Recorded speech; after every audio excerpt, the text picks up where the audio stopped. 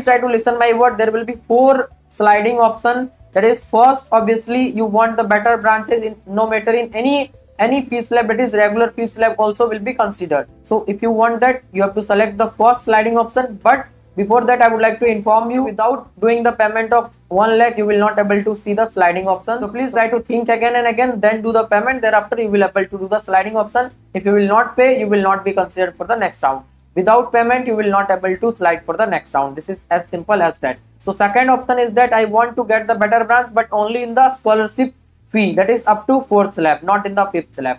Next third option is i want to consider both. That is better slab as well as better branch also. That is better than the slab whatever i got and also the better branches. And the last option is that i want to get the better slab only. I am happy with the branch and college whatever i got but i want to get the better slab whatever possible for me in the next round. So what decision you have to take? Because, because your result of next round will be depending on the type of sliding that you will choose. So i will be guiding you for everything. There is a nominal charge for that once you register i will be guiding you and i have the responsibility of lots of students who are registered with my guidance and also who are the member of this channel subscriber viewers. So that's why i'm making the video at this at this night so that you all will able to check the result because many of you will not take the result up to 24 that's why i'm making the video now so that you will able to check it and you will take the decision accordingly. And there is a refund policy that is 100 percent sure no need to worry. If you think now the seat is not according to your expectation then also try to pay because later you will able to get the 100% refund and I have provided the detailed information video